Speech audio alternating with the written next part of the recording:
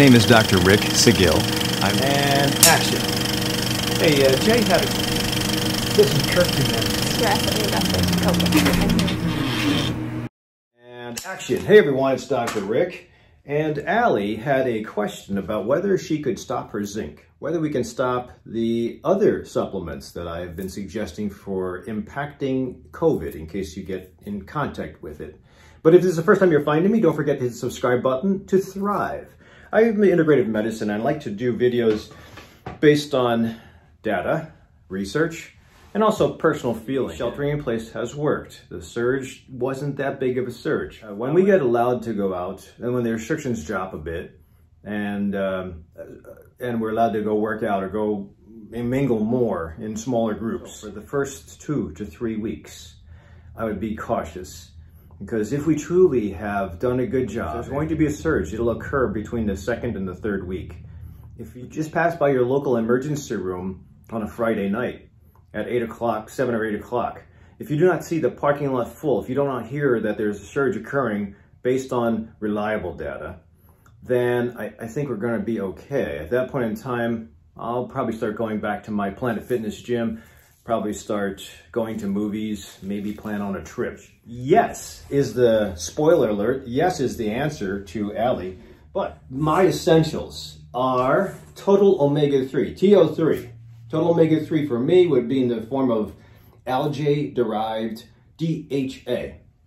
Occasionally I'll do ALA from flaxseed, hemp seed. There's two different forms of total omega-3. There's DHA and EPA. Yeah, yeah. and my suggestion is you should get at least 2,000 milligrams of total omega-3 daily. 4,000 if you're a cholesterol sufferer or you have inflammation. So I do not get much sun exposure. So uh, in COVID times, I've really told my patients to ramp up their D, eh, vitamin D3. I take 10,000 international units a day and my level last check was 68. I like that sweet spot if you're going to be measuring levels to be between 50 and 70. 68, beautiful, just because there have been some papers reported that low levels of vitamin D3 in the bloodstream have been attributed to having a worse outcome with influenza. You can kind of extrapolate that, I believe, to coronavirus, but hey, bottom line is, if it's a deficiency, fix it. I get criticized by a lot of my colleagues saying, you're just causing patients to have expensive piss. Uh, and I do not agree. I suggest looking into deficiency. I taste these deficient supplements or the deficient vitamins and we're good. Some of these things you can't find deficiency, but like like omega-3, there is a blood test for uh, detecting how much omega-3, but it's very expensive. It's not covered by insurance. So I just assume if you have inflammation, inflammation markers, uh, old uh, arthritis, or problems with cholesterol, I just consider taking total omega-3. And as far as dosing, you have to go by standards as far as what was studied before to figure out, okay, the best uh, cultures in the world take this much, so let's try to mimic them. So that's why I suggest 2,000 to 4,000 a day. Vitamin D3, we're too far north of Georgia. Any state north of Georgia usually does not get enough direct sunlight.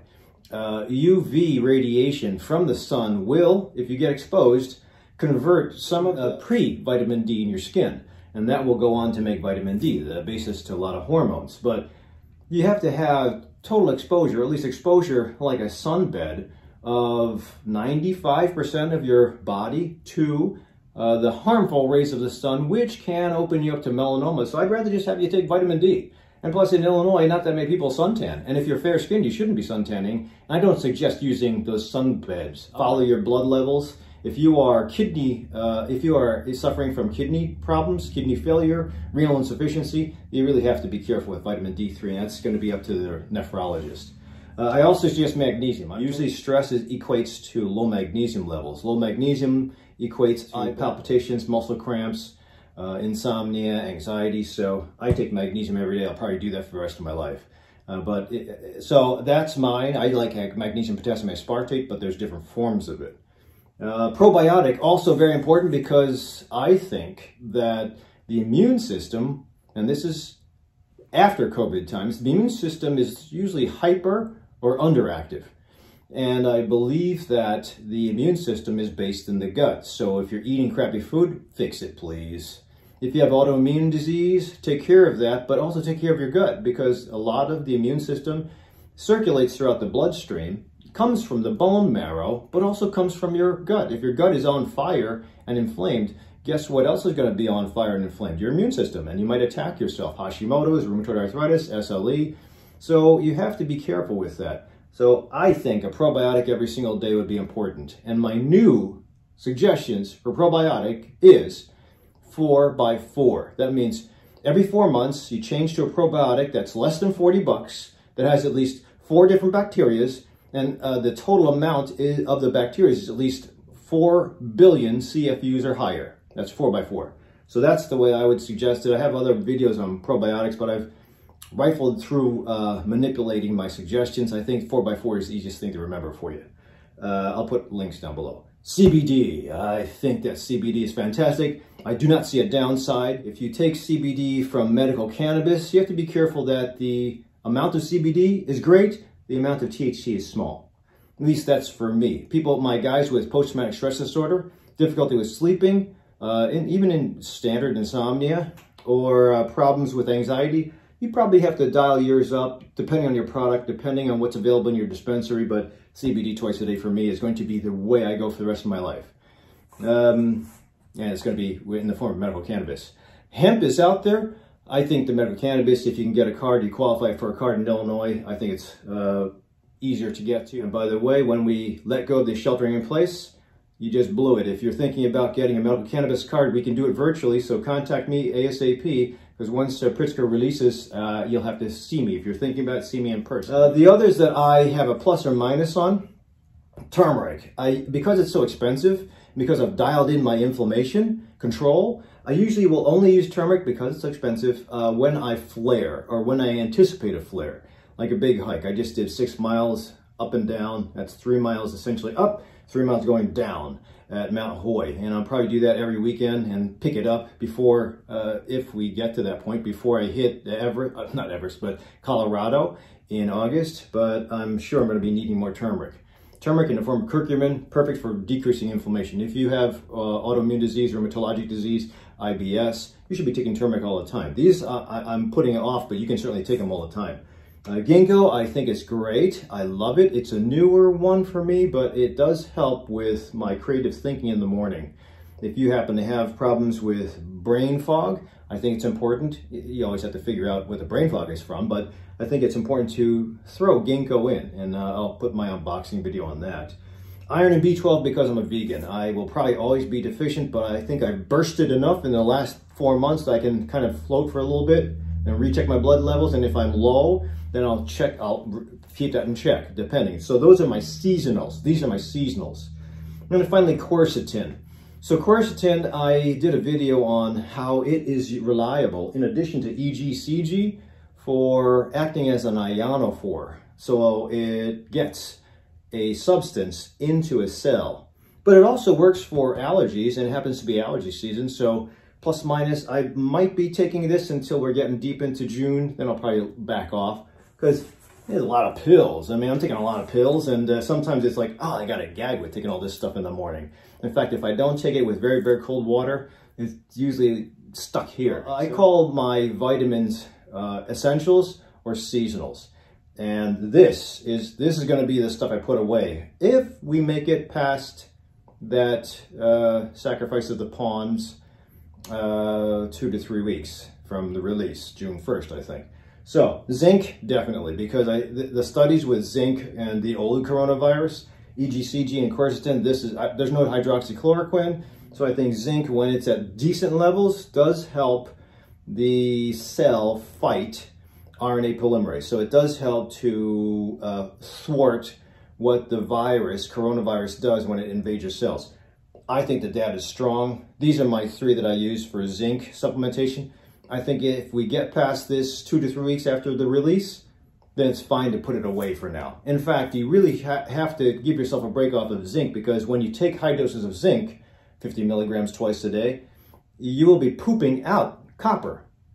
Copper is really important, so if you become copper deficient because you're taking zinc all the time, that can be another problem. So I think it's important to take a break. So we've gone about four months on zinc, time to go four months off zinc. Sometimes I'll suggest when you're not taking zinc, take copper, uh, but I just say stop. And I, can't fit more stuff in. I probably should check my copper levels just to see what they are. Uh, the other thing I would put away, because it's seasonal for me, astragalus and mushroom. I love these two. Anytime I get exposed in, in the distant past until now to influenza, I will definitely get on this. If I have a sinus infection, I definitely get that on my combination. The astragalus I love three times a day. The mushroom in the form of red reishi and sometimes shiitake are a blend, uh, amino blend. Uh, it depends on what I have, in addition to a throat spray. But I usually break them out and then I put them back away. And they could be expensive, the combination, but uh, during these times, definitely because of the assumed improvement in controlling your cytokine storm, in case I would ever get to that point. Knock on wood, I didn't. Uh, also, NAD. I did a recent video on NAD as far as the COVID patients who got exposed are suffering from the fatigue, which a lot of them are. Um, I would go NAD. And with fibromyalgia, chronic fatigue, I think it's fantastic to have NAD. Uh, I was up 10 pounds. I'm dropping that. I'm cutting it quick. Beta-hydroxybutyrate puts me into ketosis. I can usually get into a little bit ketosis. This makes me go into a lot of ketosis. And if you don't know the value of ketosis, probably should watch one of my videos, especially if you're trying to lose weight or you're insulin resistant. And then rhodiola and ashwagandha, my go-tos for a long time as far as uh, adrenal support. Some herbs are labeled as adaptogens. Adaptogens are used to support a gland that is uh, struggling. So if in times of uh, work shifts change, uh, seasonal change, you go from daily savings time to the, the new change like now, or if you travel from Asia to here or from here to Europe. I think it's important to reset your circadian rhythm and sometimes uh, taking the uh, rhodiola in the morning, the ashwagandha at night, or just taking ashwagandha twice a day, or taking the rhodiola in the morning and the rhodiola in the afternoon to help you with picking up and getting rid of the naps that you're taking and resetting your circadian rhythm are really important. I think when you're adrenally fatigued and you're squeezing out, uh, just getting by with a little bit of sleep, that is not healthy for COVID times because the immune system will suffer when you're not rested. So uh, rhodiola and ashwagandha are spectacular. Uh, uh, they're good for resetting, but in those of you who have chronic stress, anxiety, PTSD, those two adaptogens are fantastic for supporting the adrenals. So they give you a little burst in the morning and they also calm the stress response uh, in order to have you develop your own stress response. So all these supplements, all these supplements are here until you get to a good level of eating. You should always be able to maintain your life with exercise, deep sleep, loving kindness, and nutrition. Now, if you are on the fence with that or still finding your way, I think the shortcut's going to be with supplements. Uh, again, my, my, my colleagues uh, will usually say, I don't think they understand vitamins and nutrition like I do. so they'll usually say, well, you, is it really helping? And yes, it's really helping. I have data to back all this stuff up. Maybe they don't know about it. Again, maybe they don't believe in it because they see such spectacular results with prescription medicines. And I do agree, prescription medicines are sometimes necessary. If I have a full-blown diabetic, for example, I'm not going to waste time with berberine or cinnamon. I get that crap under control, work on nutrition, and then get the supplements going to possibly get off of the medicines being on medicines all the time or just shooting up with insulin, I think it'll save your life. If you're if you go into diabetic ketoacidosis because of the hospitalization and you're terribly acidotic, well, that's cool. But if you make no other changes, if you don't commit to a lifestyle change, you'll be on an insulin pump. And if you continue on the insulin pump, for example, and you don't make any changes, and you continue with bad habit, you'll eventually have an insulin pump and cholesterol medicine. If you, it keeps on adding up. So if you don't change the disease, then you will need medicines for life. If you don't change the nutrition, the exercise, and the sleep, you will need these things for life and you're not going to thwart, you're not going to change the direction of where you're going. My idea of the supplements is to support. If you're early disease, support yourself while you find a way out of that early disease. If you're deep, embedded, bad disease and suffering, this might be a little bit lacking. You might have to get on me medications, have surgical procedures, see my, my specialists, and get a team together. The more complicated, the bigger the team. So, but you still have to reverse.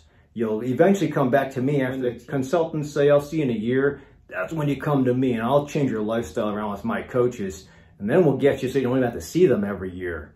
But if you don't commit, sooner or later you're gonna see me. So hopefully I don't have to see you at your wake, but or in the nursing home and rehab center, but again, it's up to you. So Allie, in a long-winded answer, wait two to three weeks, shelter and continue to watch yourself. If we can make it through this, then I'd say stop the zinc. And be choosy, get your deficiency tests done, all of you. Come back and see me, maybe August.